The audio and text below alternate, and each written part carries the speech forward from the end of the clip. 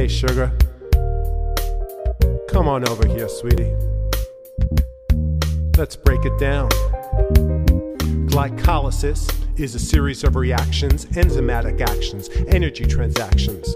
Takes glucose, a molecule so sugary, breaks it down to NADH and ATP. It's an anaerobic cytoplasmic pathway that amazes, organized easily into three phases investment, cleavage, and energy harvest.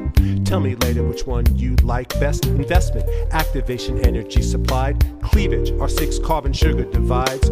Harvest, we get our energy yield. So beautiful, so intricate, keep your eyes peeled. Glycolysis. Come on, sugar, come on, sugar, for the breakdown.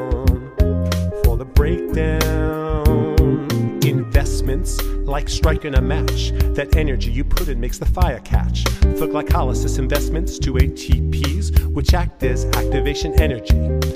Enzymes take phosphates from ATPs, jam them on a glucose, rearranging it to fructose, leaving fructose 1 6 bisphosphate on the table with two phosphates. It's highly unstable, moving us to the second phase, the cleaving of fructose bisphosphate. Because glycolysis means splitting sugar, you can see.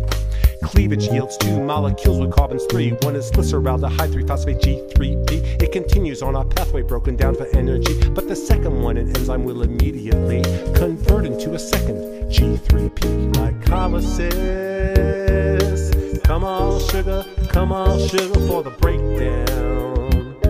For the breakdown.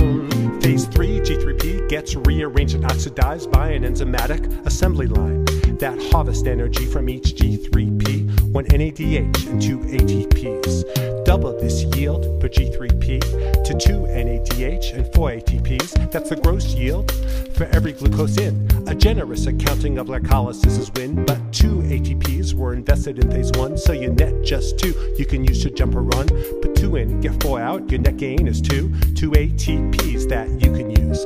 If that doesn't seem like very much, it's cause it ain't. There's tons of energy left in pyruvate. The two, three carbon molecules we're left with at the end, and what happens to pyruvate's going to depend on the metabolic pathway where pyruvate gets sent. If it's anaerobic, it'll be fermented, but in aerobic cells, pyruvate's termination will be the Krebs cycle and total oxidation.